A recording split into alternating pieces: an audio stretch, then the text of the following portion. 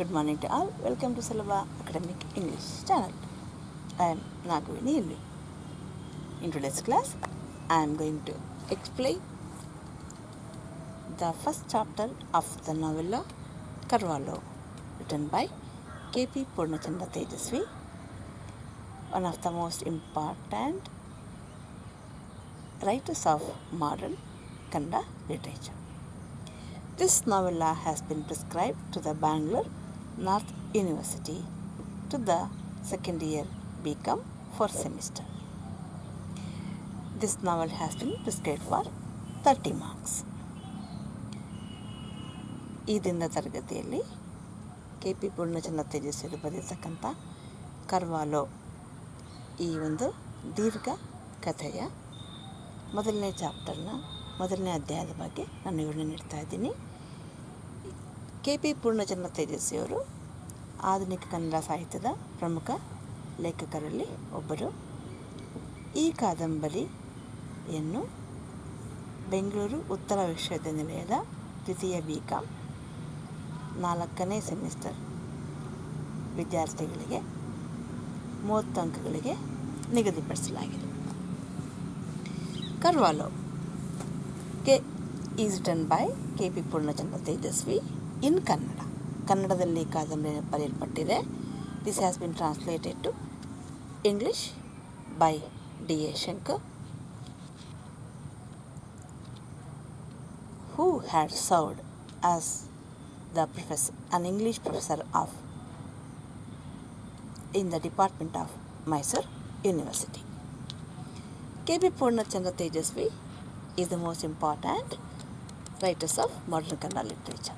Is the elder son of Shri Kuvempu ಕುವೆಂಪುರವರ ಹಿರಿಯ ಮಗ ಕೆ ಪಿ ಪೂರ್ಣಚಂದ್ರ ತೇಜಸ್ವಿಯವರು He chose the after the completion of Kannada MA, he chose the life of a farmer in a small town of Malnadu by name Mudigere ತಮ್ಮ ಕನ್ನಡ ಸ್ನಾತಕೋತ್ತರ ಪದವಿಯ ನಂತರ ಅವರು ಕೃಷಿಕ ಜೀವನವನ್ನು ಆಯ್ಕೆ ಮಾಡಿಕೊಂಡು, ಕೃಷಿಕ ಉದ್ಯೋಗವನ್ನು ಆಯ್ಕೆ ಮಾಡಿಕೊಂಡು, ಮಲೆನಾಡಿನ ಒಂದು ಸಣ್ಣ ಪಟ್ಟಣ ಮೂಡಿಗೆರೆಯಲ್ಲಿ ವಾಸ ಇರ್ತಾರೆ. It was in that period of agricultural activities he developed a lasting passion for nature and non literary pursuits like photography environment and wildlife study travel and science and a deep interest in philosophy and metaphysical enquiry And he had a, he was a stern follower of the theory of Lohia.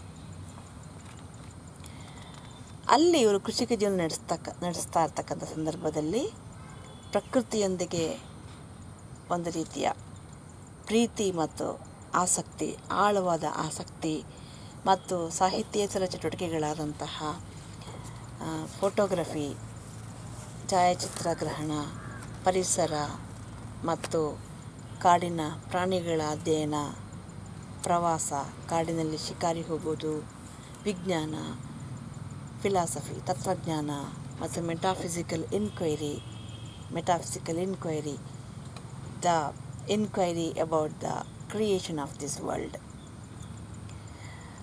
evolution of this world and also Lohia ಅವರ ಒಂದು ಸೈದ್ಧಾಂತಿಕ ಪ್ರಭಾವಕ್ಕೆ ಕೂಡ ಇವರು ಒಳಗಾಗ್ತಾರೆ. Is important works are ಪರಿಸರದ ಕಥೆಗಳು ಅಬಚೂರಿನ post office Kubi and Iyala Carvalho missing link series millennium series etcetera Carvalho has been awarded the Kendra Sahitya Akademi Prashasti and translated into English by D A Shankar who served as an English professor at Mysore University. According to him, Tejasvi has introduced an indigenous mode of handling novel form in Kannada. ಈ ಕಾದಂಬರಿಯನ್ನು ಇಂಗ್ಲೀಷ್ಗೆ ಈ ಕಥಾನಕವನ್ನು ಇಂಗ್ಲೀಷ್ಗೆ ಅನುವಾದ ಮಾಡಿರ್ತಕ್ಕಂಥ ಮೈಸೂರು ವಿಶ್ವವಿದ್ಯಾನಿಲಯದ ವಿಶ್ರಾಂತ ಪ್ರಾಧ್ಯಾಪಕರಾದಂತಹ D A Shankar ಅವರ ಪ್ರಕಾರ ತೇಜಸ್ವಿಯವರು ಈ ಒಂದು ಕಾದಂಬರಿಯ ಮೂಲಕ ಒಂದು indigenous mode of handling the novel form in Kannada ಕನ್ನಡದಲ್ಲಿ ಒಂದು ಒಂದು ಪ್ರಾದೇಶಿಕತ್ವ ಶೈಲಿಯಲ್ಲಿ ಇಂಡಿಜಿನಸ್ ಮೋಡಲ್ಲಿ ಒಂದು ಭಾರತೀಯ ಶೈಲಿಯಲ್ಲಿ ಕಾದಂಬರಿ, ಕನ್ನಡ ಕಾದಂಬರಿಯನ್ನು ಬರೆಯುವಂತಹ ಒಂದು ಫಾರ್ಮನ್ನು ಒಂದು ಸ್ಟೈಲನ್ನು ಒಂದು ರಚನೆಯನ್ನು ಮಾಡ್ತಕ್ಕಂಥ ಒಂದು ಶೈಲಿಯನ್ನು ಅವರು ಇಲ್ಲಿ ಶೈಲಿಗೆ ಇಲ್ಲಿ ನಾಂದಿ ಹಾಡಿದ್ದಾರೆ. The novel presents many worlds ಈ ಕಾದಂಬರಿ ನಮಗೆ ಅನೇಕ ಪ್ರಪಂಚಗಳ ಪ್ರ, ಪರಿಚಯ ಆಗುತ್ತೆ. The dream world of the characters ಆ ಪಾತ್ರಗಳ ಕನಸಿನ ಪ್ರಪಂಚ. The world of science and mystery ವಿಜ್ಞಾನದ ಪ್ರಪಂಚ. ಈ ವೈಜ್ಞಾನಿಕ ನಿಗೂಢತೆಯ ಪ್ರಪಂಚ. And the work day world of normal and simple human beings ಸಾಮಾನ್ಯ ಜನರ ದಿನನಿತ್ಯದ ಬದುಕು. ಬದುಕಿನ ಪ್ರಪಂಚ. ಈ ಎಲ್ಲವನ್ನು ನಾವಿಲ್ಲಿ ನೋಡ್ತೀವಿ. Novel is about an expedition to find a flying lizard and the leadership of ಕರ್ಲ Carvalho a gazette officer a scientist and an entomologist ಈ ಕಾದಂಬರಿಯ ಕತೆ ಏನು, ಮೂಲ ಕಥೆ ಏನು, ಅಥವಾ ಈ ನಾವೆಲ್ಲ, ಈ ಕಥನ, ದೀರ್ಘಕಥೆಯ ಮೂಲ ಕಥೆ ಏನು ಅಂದರೆ ಕರ್ವಾಲೋ ಎನ್ನುವಂತಹ ಒಬ್ಬ ಗೆಜೆಟ್ ಆಫೀಸರ್ ಮತ್ತು ವಿಜ್ಞಾನಿ a scientist and also an entomologist ಒಬ್ಬ ಕೀಟಶಾಸ್ತ್ರಜ್ಞರಾದಂತಹ ಕರ್ವಾಲ್ ಅವರ ನೇತೃತ್ವದಲ್ಲಿ ಎಲ್ಲ ಪಾತ್ರಗಳು ಫ್ಲೈಯಿಂಗ್ ಲಿಸಾರ್ಡ್, ಒಂದು ಹಾರುವ ಹೋತಿಯನ್ನು ಕಂಡುಹಿಡಿಯಲಿಕ್ಕೆ ಕಾಡಿನ ಒಳಗಡೆ ಒಂದು ಎಕ್ಸ್ಪೆಡಿಷನ್ ಸಾಹಸ ಯಾತ್ರೆಯನ್ನು ಕೈಗೊಳ್ತಾರೆ. ಅದೇ ಈ ಕಥಾನಕದ ದೀರ್ಘಕಥೆಯ ಮೂಲ ವಸ್ತು. ಅಂದರೆ entomologist it connects different worlds of different people. The flying lizard is the connection among different people.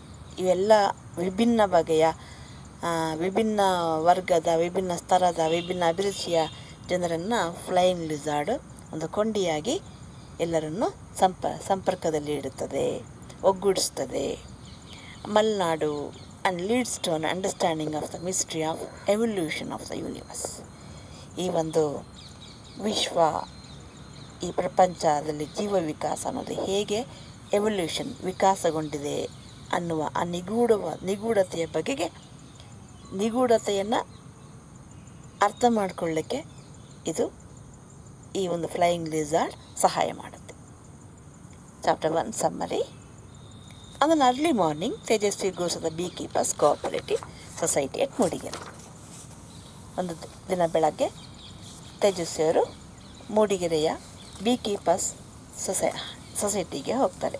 ಜೇನು ಸಾಕಾಣಿಕಾ ಕೇಂದ್ರದ ಸಹಕಾರಿ ಸಂಘಕ್ಕೆ ಹೋಗ್ತಾರೆ his father as them to get some honey from Mudigere as it was cheaper there in than in Mysuru He was advised by an Ayurvedic physician to take a spoonful of honey with water every morning.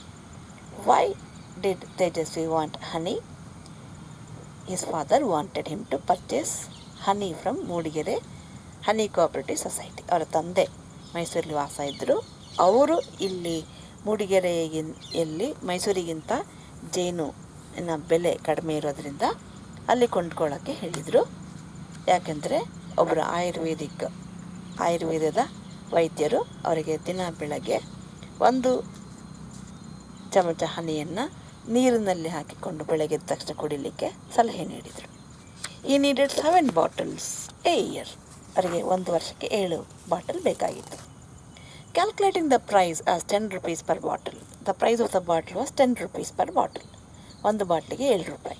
ಅದನ್ನು ಲೆಕ್ಕ ಹಾಕಿ Tejaswi had taken seventy rupees with him ತೇಜಸ್ವಿಯವರು ತಮ್ಮೊಂದಿಗೆ ಎಪ್ಪತ್ತು ರೂಪಾಯಿಗಳನ್ನ ಏಳು bottle ಬೇಕಾಗಿತ್ತು. ಎಪ್ಪತ್ತು ರೂಪಾಯಿ ತೆಗೆದುಕೊಂಡು ಹೋಗಿರ್ತಾರೆ. There were Lakshmana and Mandanna when entered into the society there were two characters Lakshmana and Mandanna Lakshmana was the employee at the society ಅವರಲ್ಲಿ regular employee and Mandanna was an apprentice Mandanna ಅಲ್ಲಿ ಕೆಲಸ ಕಲಿತಾ ಇರ್ತಕ್ಕಂಥ. What is he learning there is learning bee keeping ಜೇನು ಸಾಕಣೆಯನ್ನು, ಸಾಕಣೆಗೆ ಕೆಲಸವನ್ನು ಕಲಿತಿದ್ದಾನೆ.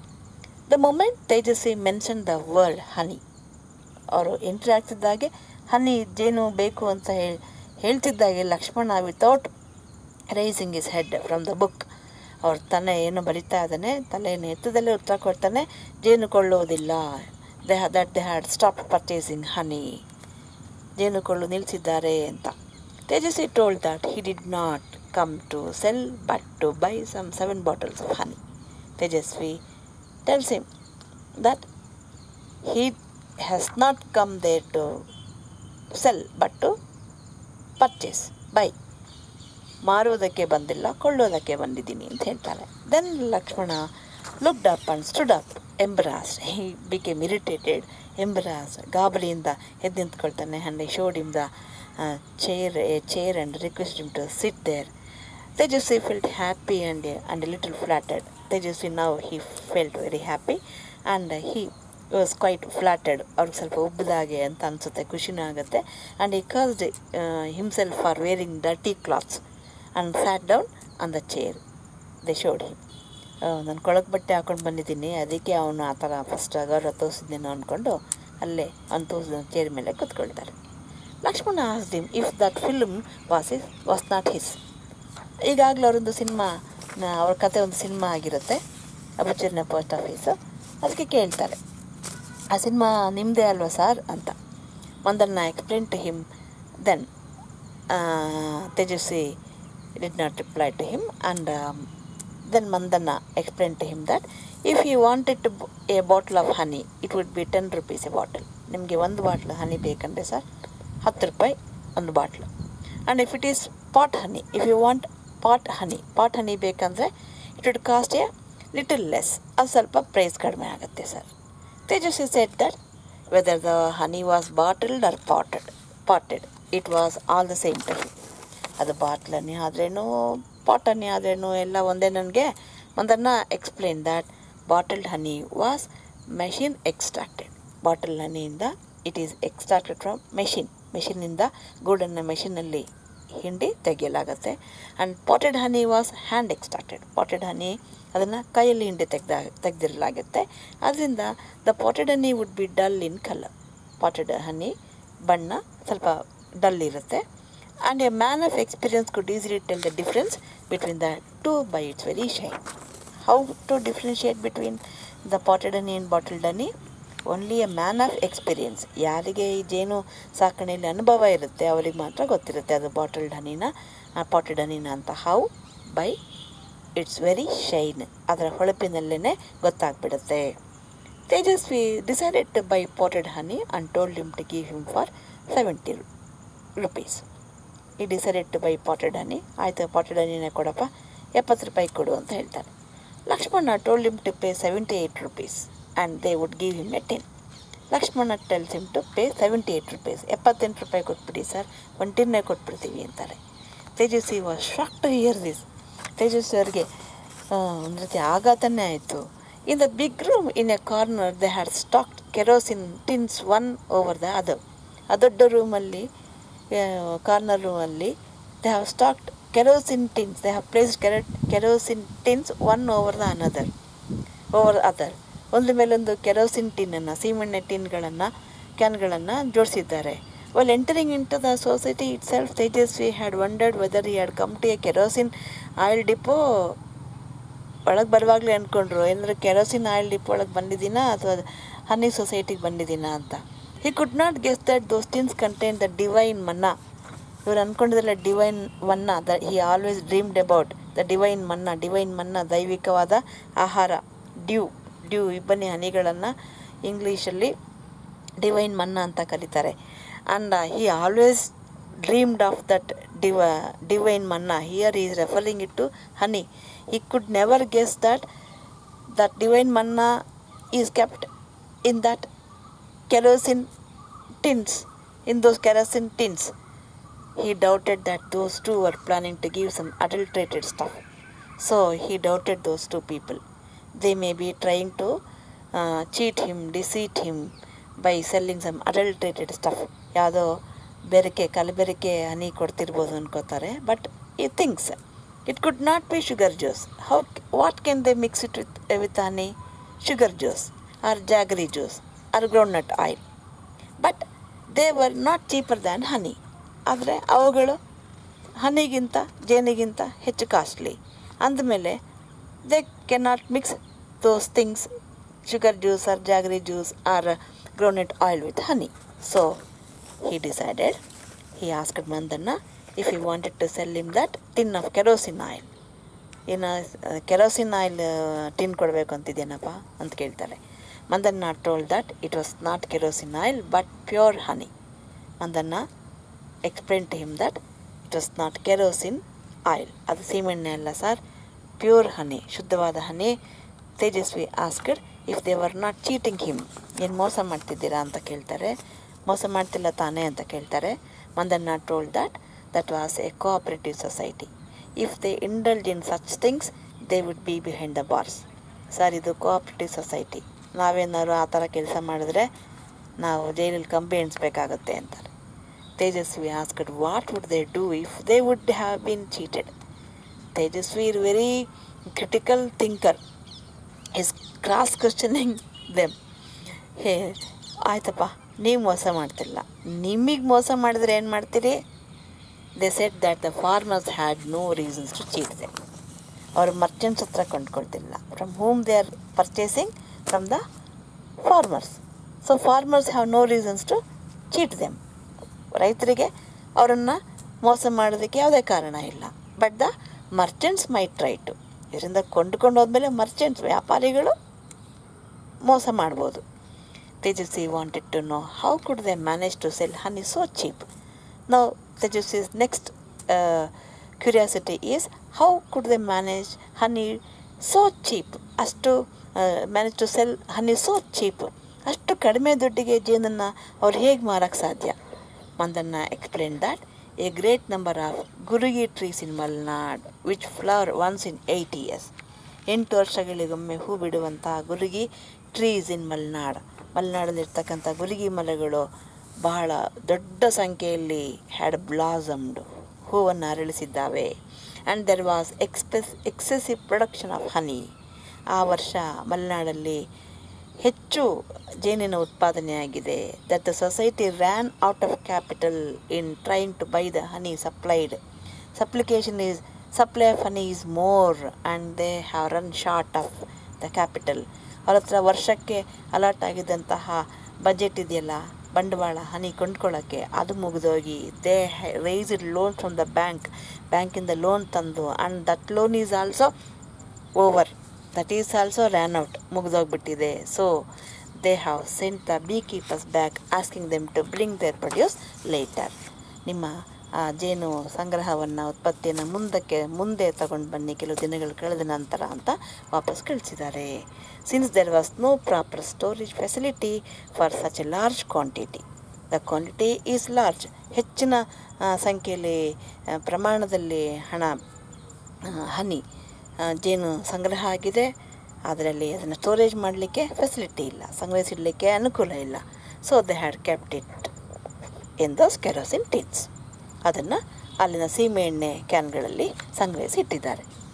Tejaswi paid seventy rupees and promise to pay remaining eight rupees the next day Tejaswi ಅವರು ಎಪ್ಪತ್ತು ರೂಪಾಯಿಗಳನ್ನು ಪಾವತಿಸಿ he promised that he would pay the remaining eight rupees the next day ನಾಳೆ ಬಂದು ಎಂಟು ರೂಪಾಯಿ ಕಟ್ತೀನಿ ಅಂಥೇಳಿ ಹೊರಡ್ತಾರೆ. Mandanna gave him the best of honey Gutti area honey ಆ, ಟಿನ್ಗಳ ಸಂಗ್ರಹ ಅತಿ ಟಿನ್ಗೆಲ್ಲ ಬಿದ್ದೋಗುತ್ತೆ. ಆದರೂ ಹುಡುಕಿ ಹೀಗೆ him the best of honey ಅತ್ಯುತ್ತಮವಾದ ಜೇನನ್ನು ತಂಗ ಕೊಡ್ತಾನೆ ಕ್ಯಾನನ್ನು. ಅದು Gutti area honey it was Gutti ಏರಿಯಾದಿಂದ ಸಂಗ್ರಹಿಸಿರ್ತಕ್ಕಂಥದ್ದು. It was a heavy tin ಭಾರವಾದಂಥ ಒಂದು tin. And the spring of Tejas his forty year old jeep groaned when he placed the tin in his jeep ಅವರು ತಮ್ಮ ಜೀಪಲ್ಲಿ ಆ ಟಿನ್ನನ್ನು ಇಟ್ಟಾಗ ನಲವತ್ತು ವರ್ಷ ಹಳೆಯ ಜೀಪನ ಸ್ಪ್ರಿಂಗ್ಸ್ ಗ್ರೋನ್ ನರಳ್ತವೆ ಕ್ವಶನ್ಸ್ ಯಾವ in this way in this chapter we are introduced to three characters, Purnachandra Tejasvi, the narrator, and two more characters, Lakshmana and Mandanna. Lakshmana is the regular employee at the B Cooperative Society. Mudigere Mandanna is learning beekeeping there in the society. He is an apprentice. And here Tejasvi has come to know the difference between bottled honey and potted honey. And also uh, the excessive reason for excessive production of honey, supply of honey in that year.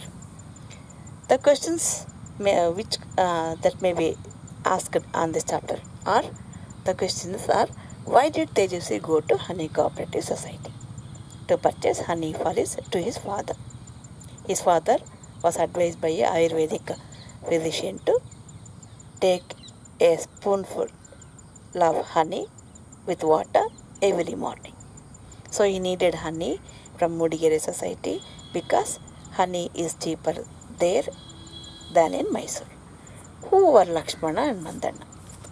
Why was there excess production of honey that year? What is the difference between the potted honey and the bottled honey? I think you have understood the explanation of this chapter. If you have any question or query, post it in the group. Thank you for watching.